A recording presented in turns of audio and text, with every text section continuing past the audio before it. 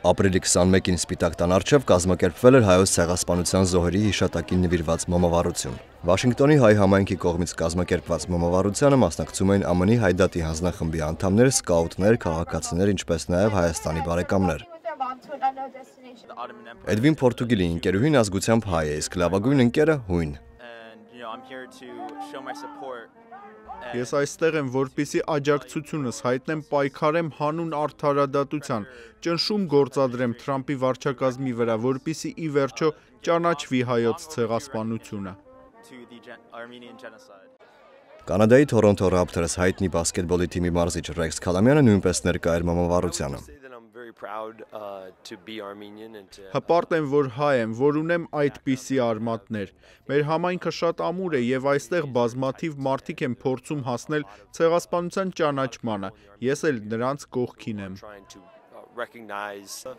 Մարիամ Մելքումյանը եւ Նարեկ Գրիգորյանը ընդգծեցին ԱՄՆ-ի կողմից ցեղասպանության ճանաչումը, հաշվի առնելով Միացյալ Նահանգների կարևորությունն ու ազդեցությունը միջազգային ասպարեզում։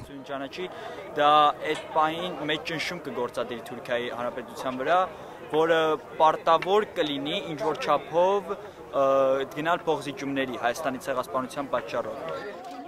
մեր այստեղ լինելը շատ կարևոր է նաև, քանի որ եթե Հայաստանում մենք չենք կարող լինել, չենք կարող գնալ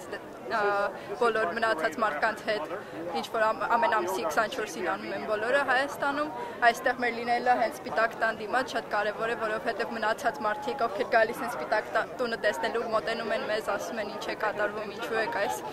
բոլոր պրոցեսները անում։ Վաշինգտոնի հայդատի գրասենյակի գործադիր տնօրեն Արամ Համբարյանը կարևորեց այսօրվա հավաքը նշելով, որ այն խորհրդանշում է Միացյալ Նահանգների հայ համայնքի պահանջը իրենց իշխանությունից։ Էրդողանն իր ուղին ընտրել է, նա շարունակելու է հերքել, սակայն Ամերիկային անհրաժեշտ չէ աջակցել Էրդողանին, եւ մենք այսօր ասում ենք, Թուրքիան արժանի չէ, որպիսի դրա համար արգելափակվի հայոց ցեղասպանության ճանաչումը ԱՄՆ-ի կողմից։ Անդրադառնալով Հայաստանի ներկայիս ներքաղաքական իրավիճակին Արամ Համբարյանը հավելեց, որ Ամերիկա-հայ համայնքի մշակույթի մի մասն է պայքարել անարդարության դեմ։ Երբ անարդարություն ենք տեսնում հայկական աշխարհի տարբեր մասերում, այդ թվում եւ Հայաստանի ներսում, ապա բողոքը առողջարար է։ Մարդիկ շատ ճիշտ են, երբ բարձրաձայնում են սեփական կարծիքը իրենց, իրենց ընտանիքների, երկրի ու ժողովրդի համար կարևորագույն հարցերի շուրջ։ Դա ժողովրդավարության բնական մասն է։ Ձևավորված ավանդույթի համաձայն ԱՄՆ-ի նախագահը յուրաքանչյուր տարի ապրիլի 24-ին հանդես է գալիս պաշտոնական հայտարարությամբ հիշատակելով առաջին աշխարհամարտի տարիներին Օսմանյան կայսրության հայերի զանգվածային կոտորածները։ Նշենք, որ ԱՄՆ-ի կոնգրեսի հայկական հարցերով հանձնախմբի անդամները ազդեցիկ կոնգրեսականներ եւ սենատորներ արդեն նամակով դիմել են ԱՄՆ-ի նախագահ Դոնալդ Թրամփին կոչ անելով ապրիլի 24-ին հանդես գալ հայտարարությամբ եւ օգտագործել ցեղասպանություն եզրը։ Արման Թարջիմանյան, Վահե Օհանյան, Ամերիկայի ձայն, Վաշինգտոն։